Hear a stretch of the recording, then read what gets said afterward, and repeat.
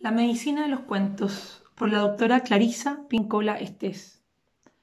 Los cuentos de hadas terminan al cabo de diez páginas, pero nuestras vidas no. Somos colecciones de varios tomos. En nuestras vidas, aunque un episodio equivalga a una colisión y una quemadura, siempre hay otro episodio que nos espera y después otro. Siempre hay oportunidades de arreglarlo, de configurar nuestras vidas de la manera que merecemos. No hay que perder el tiempo odiando un fracaso. El fracaso es mejor maestro que el éxito. Presta atención, aprende y sigue adelante.